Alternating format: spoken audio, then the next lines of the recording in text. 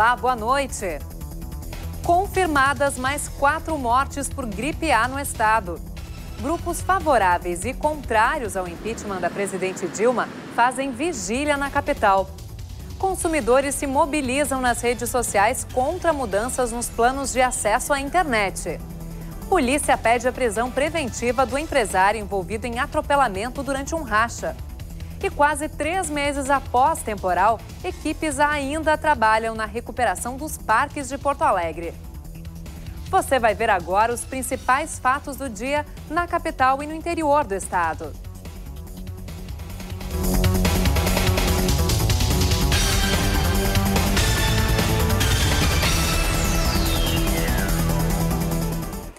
Subiu para 10 o número de mortes provocada pela, provocadas pela gripe A aqui no estado este ano.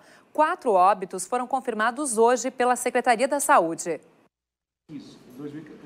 Os novos casos foram apresentados na manhã desta sexta-feira pelo secretário estadual da Saúde. As vítimas tinham entre dois meses e 53 anos. O óbito mais recente foi registrado nesta terça-feira em Porto Alegre e ainda não se sabe se o paciente apresentava alguma doença crônica. As vítimas moravam em Porto Alegre, Santa Rosa, Novo Hamburgo e Erechim. Três deles integravam os grupos de risco, considerados prioritários pelo Ministério da Saúde, sendo que dois não haviam tomado a vacina no ano passado. Dos quatro, apenas uma era mulher. Essa é, é uma evolução natural, normal, e isso vai acontecer nas próximas semanas, nós teremos casos novos. É, esses casos novos não significa que a gente tenha que é, nos despreocupar, obviamente, que nós temos que manter a atenção e a preocupação sobre isso, mas não numa situação de pânico. Não há um número, uma ocorrência é, acima do que a gente imaginava que pudesse estar acontecendo. No mesmo período do ano passado, não houve mortes por H1N1 no estado. O único paciente infectado foi tratado com Tamiflu. Mesmo entre os vacinados, há, as pessoas podem ter síndrome gripal. E não, não, o que diminui é a gravidade, diminui a possibilidade dela ter precisar internar, diminui o número de óbitos que acontece. Também foram apresentados dados do Zika vírus. Dos 20 casos confirmados no estado, cinco são autóctones, sendo um contraído em Porto Alegre. Já sobre a dengue, os números mostram uma leve queda em relação a 2015. Até o momento, foram confirmados 758 casos, 73% deles autóctones. No ano passado, este mesmo período já havia registrado 860 casos. E com o aumento do número de óbitos provocados pela gripe A no Rio Grande do Sul, a Secretaria da Saúde confirmou a antecipação do início da campanha de vacinação para o dia 25 de abril. Mesmo assim, a procura pelas doses nas clínicas particulares ainda é grande e, em muitas, as vacinas estão em falta. Esta aposentada e a família se vacinaram contra a gripe A ainda no mês passado. Juntas, as seis doses custaram quase 800 reais. Um investimento alto, mas que valeu a pena. Ah, é uma sensação muito boa, de muita tranquilidade. Pelos filhos terem contato com o público no serviço deles e pela netinha na escola, que, cheia de coleguinhas e assim nos dá bastante tranquilidade. Infelizmente, nem todos têm condições de bancar a vacina ou sorte de encontrá-la disponível em clínicas particulares. Em pelo menos quatro delas aqui na capital, as doses se esgotaram no meio da semana. Nós estamos com ela em falta desde quarta-feira, aguardando para provavelmente segunda-feira. Com a antecipação da campanha, o Estado recebeu no início da semana as primeiras doses da vacina. Serviço Expresso agiliza a emissão da segunda via da carteira de identidade. Na capital, o método lançado hoje permite a entrega do documento novo num prazo de até três horas, ou no máximo três dias. O custo é de 78 reais. Pelo método convencional, a entrega demora em média de 10 a 12 dias. O serviço expresso já funciona em Porto Alegre, região metropolitana, Caxias do Sul e Santa Maria. Aos poucos, vai ser estendido para outras cidades foi pedida a prisão preventiva do motorista que atropelou um casal no Parcão, em Porto Alegre, na madrugada de 2 de abril. A polícia entregou hoje o inquérito à Justiça. O condutor do veículo prestou depoimento na quarta-feira e admitiu ter bebido antes de dirigir. Tiago Brentano, o motorista do Audi, foi indiciado por duas tentativas de homicídio triplamente qualificado com dolo eventual, por motivo fútil, impossibilidade de defesa das vítimas e dirigir sem carteira de habilitação. Como Brentano já havia perdido o direito de dirigir antes do caso, a polícia optou pelo pedido de prisão preventiva. Ele chegou a atingir velocidade de 116 km por hora. Essa é uma velocidade superior até a limite na freeway, ou seja, ele estava trafegando na 24 de outubro, uma rua uh, dentro da cidade, numa velocidade superior àquela permitida a uma autopista, como é o caso da freeway. Imagens de câmeras de segurança flagraram o momento em que o Audi ultrapassou o sinal vermelho na esquina das avenidas 24 de outubro e Guete e colidiu com um táxi. Depois bateu em um Peugeot estacionado que acabou atingindo um casal que estava na calçada. O advogado de Rafaela, uma das vítimas, pretende fazer do caso uma referência para que não haja mais impunidade. As pessoas cometem uma, duas, três vezes, como este condutor, dirigindo sem a devida habilitação, bebendo, é um potencial risco para a sociedade. Então, esse potencial risco se tornou concreto quando nesse caso, ele causou toda esta forma de, de, de, lesão, de acidente, de desrespeito às normas. Então, esse tipo de conduta, assim como tem outros motoristas que tem que servir de alerta para as autoridades que, quando peguem um caso assim, possam responsabilizar na sua altura. A defesa de Tiago Brentano afirmou que não concorda com a tese da polícia de enquadrar o cliente no crime de tentativa de homicídio. Segundo o advogado Jader Marques, o caso deve ser tratado como um crime de lesão corporal. A polícia ainda busca a identificação do outro motorista envolvido no racha.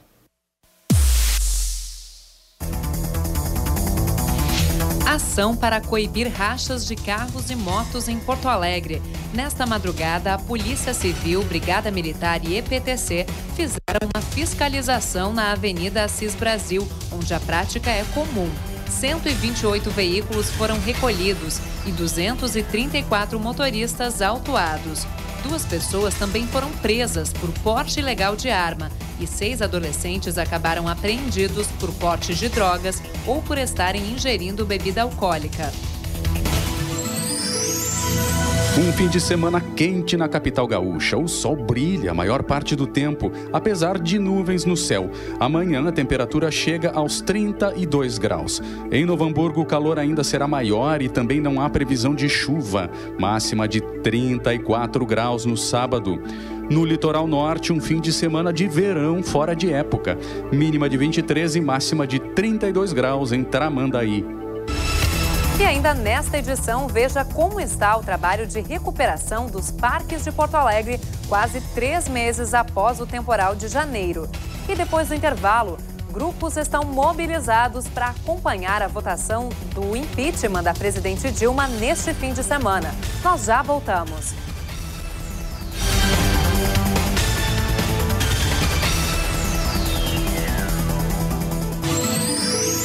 Sol entre nuvens e muito calor no fim de semana em toda a região central do estado. Em Santa Cruz do Sul, o sábado terá máxima de 33 graus. Calor acima da média também em Santa Maria, com temperaturas oscilando entre 24 e 32 graus amanhã. A previsão é idêntica para a Cachoeira do Sul, máxima de 32 graus no sábado e tempo firme até o domingo. Curso capacita profissionais de saúde da capital para identificar lesões na pele que podem ser sinal de hanseníase. A doença ainda preocupa na cidade. A cada 100 mil habitantes, pelo menos um tem um problema. Para reduzir ainda mais esse número, o diagnóstico precoce é fundamental. O tratamento é oferecido gratuitamente pelo SUS. Uma mudança anunciada recentemente para os planos de internet está gerando protestos dos usuários da rede mundial de computadores. A modificação estabelece limites no tráfego de dados, como já acontece nos planos de celular. Essa alteração mobilizou mais de um milhão de pessoas nas redes sociais e uma campanha online endereçada às operadoras, à Anatel e ao Ministério Público Federal alerta para a ilegalidade da medida. Dada no celular, Karine detesta quando recebe o aviso de que esgotou o limite do pacote de dados. Ah, eu acho que a gente fica meio perdido, né? Porque parece que está fora desse mundo, desconectado. Eu ainda tô no primeiro E vai detestar ainda mais quando isso acontecer com a internet fixa. Ah, vai ser o final do mundo, eu acho. eu acho que a gente vai voltar à internet de escada, né?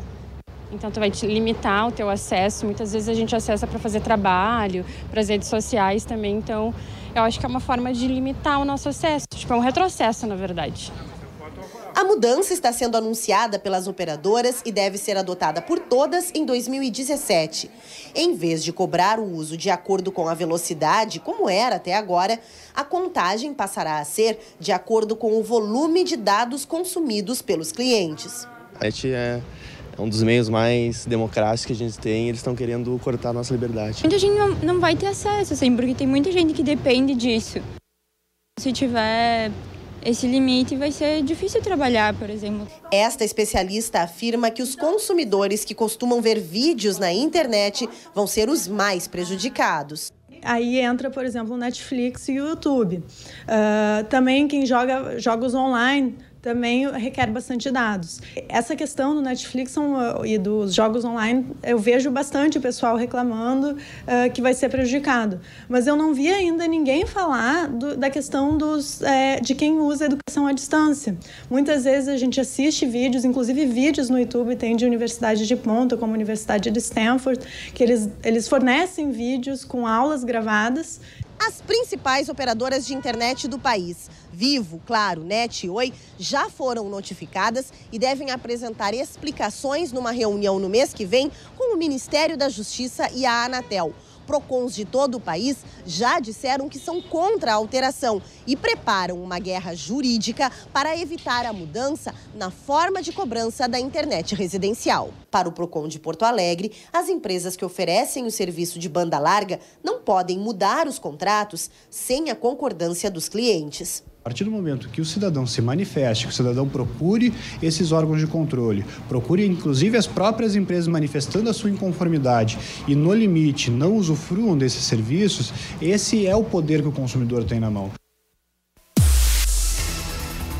Pulverizadores para combater o Aedes aegypti. A Prefeitura da capital recebeu hoje a doação de 10 equipamentos que vão ser usados para espalhar inseticida contra o mosquito transmissor da dengue, zika e chikungunya. As máquinas utilizadas em Porto Alegre até agora tinham sido cedidas pelo Estado. Elas vão ser devolvidas e podem beneficiar outros municípios gaúchos. 24 anos depois da queda de Fernando Collor, o Brasil novamente volta suas atenções para a possibilidade de impeachment de um presidente da República. Acusada de crime de responsabilidade por conta das chamadas pedaladas fiscais, Dilma Rousseff pode deixar prematuramente o cargo para o qual foi reeleita no final de 2014. A votação que vai parar o país acontece neste domingo no plenário da Câmara dos Deputados.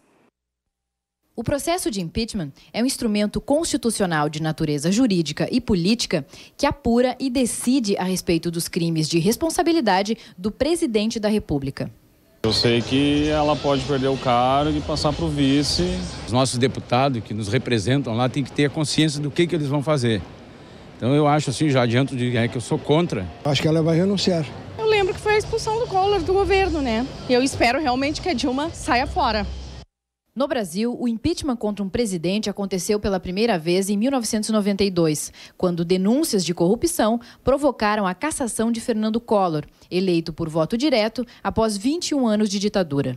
Ele renunciou antes do julgamento final, mas o Supremo entendeu naquela oportunidade de que a renúncia não paralisava o julgamento. Então, uma vez instaurado efetivamente o procedimento, por decisão do Senado Federal, é a primeira deliberação. A partir de então, a rigor, levando em conta o precedente anterior, não, ah, a, a renúncia do presidente não implicaria a suspensão do julgamento. O impeachment de Dilma Rousseff iniciou em dezembro de 2015, quando o presidente da Câmara, Eduardo Cunha, acatou a denúncia por crime de responsabilidade. Uma comissão especial de deputados foi instalada para decidir se o processo deveria ou não seguir para o plenário. Durante o processo, ocorreram diversas manifestações contra e a favor do impedimento.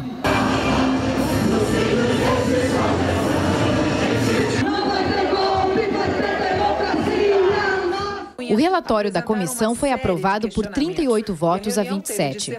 Nesta sexta, começaram os debates sobre o parecer, que se estendem ao sábado. Até a resolução, os movimentos fervem pela cidade. Duas vigílias estão instaladas. Uma favorável ao afastamento, que está há quase um mês no Parcão, e outra que se iniciou esta semana na Praça da Matriz, reunindo diferentes movimentos sociais contra o impeachment. Tanto o governo quanto a oposição dizem ter os votos suficientes para manter ou barrar o processo. O resultado sairá no domingo. O plenário votará pela abertura ou não do processo. São necessários 342 votos para que a análise siga para o Senado. Se isto acontecer, o julgamento no Senado é presidido pelo ministro-presidente do Supremo Tribunal Federal, Ricardo Lewandowski. Na eventualidade de a presidenta da República ser afastado do exercício da presidência, eh, não podemos interromper esse processo de desvelamento da nossa realidade política e de responsabilização uh, dos setores empresariais e políticos envolvidos uh, nestas, nesses malfeitos, não podemos interromper esse processo.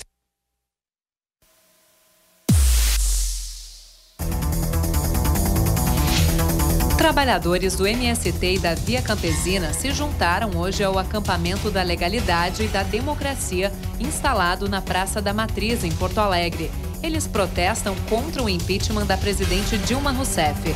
Pela manhã, parte dos manifestantes percorreu a BR-290 e se juntou a outro grupo que já estava no centro. Por segurança, a presidência da Assembleia Legislativa, que fica na Praça da Matriz, decidiu suspender as atividades nesta sexta-feira. O calor faz aumentar a nebulosidade e pode provocar pancadas de chuva tanto no sábado como no domingo em Uruguaiana. Amanhã, os termômetros marcam até 32 graus. Já em São Borja, a previsão é de sol entre nuvens para todo o fim de semana. No sábado, máxima de 32 graus. Trovoadas são esperadas em Alegrete, onde as temperaturas oscilam entre 24 e 32 graus amanhã.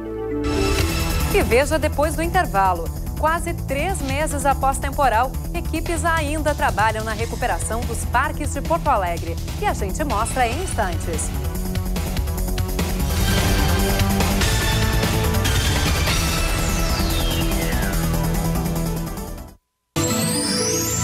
O sábado amanhece com sol em São Borja, mas há previsão de pancadas de chuva à tarde e também no domingo. Amanhã a máxima será de 30 graus.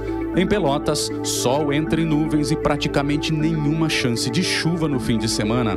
Máxima de 33 graus no sábado. Para o litoral sul, a previsão é a mesma. Amanhã as temperaturas variam entre 23 e 33 graus em Rio Grande.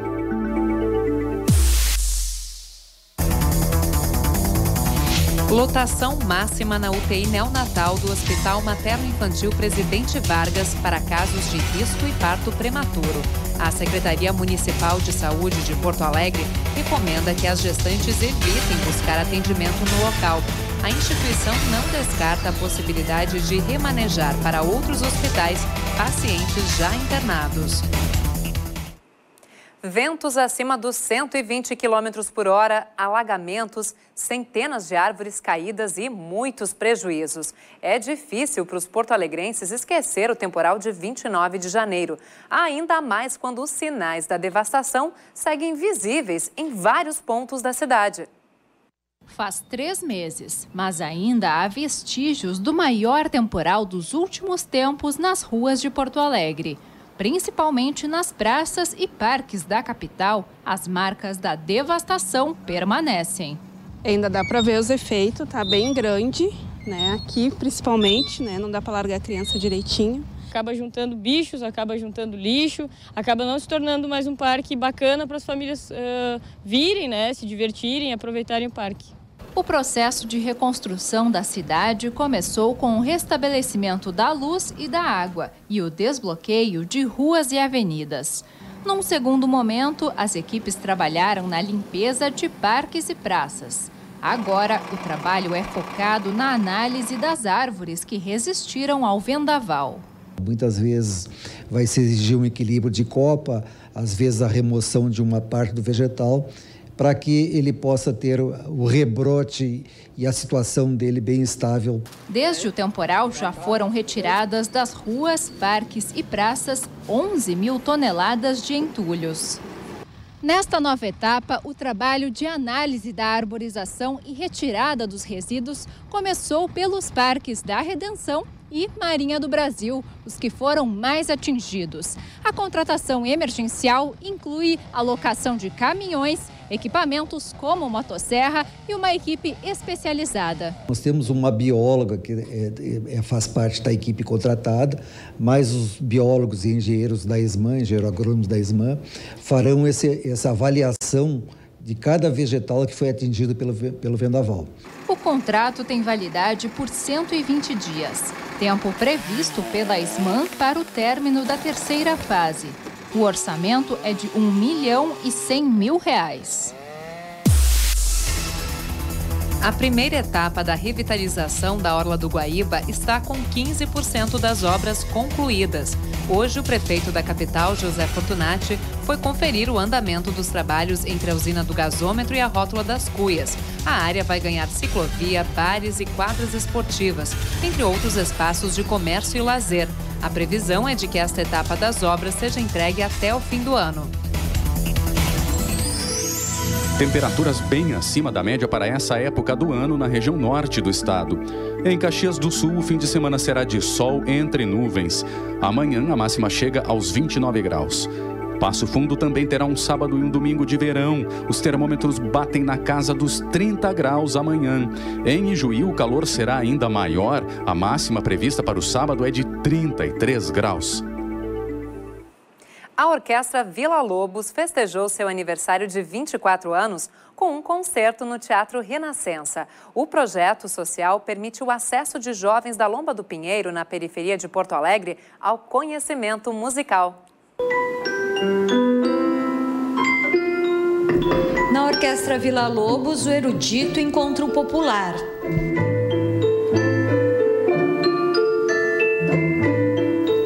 E jovens de comunidades carentes encontram a possibilidade de vivenciar a música e dar outro sentido às suas vidas.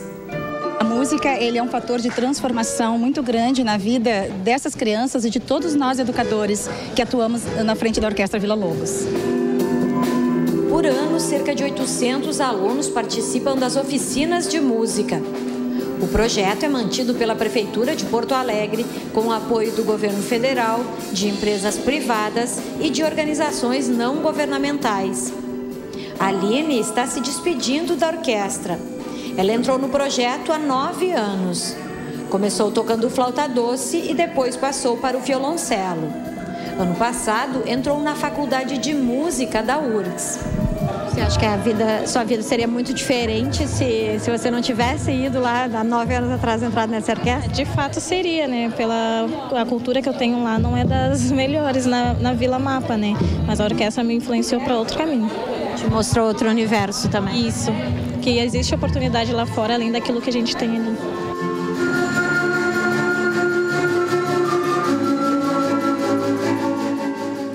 E antes de encerrar, uma informação importante. A TVE transmite ao vivo neste domingo, a partir das duas horas da tarde, a votação do pedido de impeachment da presidente Dilma Rousseff. Nossa cobertura terá boletins da reportagem que vai acompanhar em Porto Alegre a expectativa dos manifestantes contra e a favor do impeachment. Após a votação, vamos mostrar também a repercussão do resultado. Nós voltamos na segunda-feira, às sete da noite, com novas informações. Uma ótima, ótima noite para você, bom fim de semana e até segunda.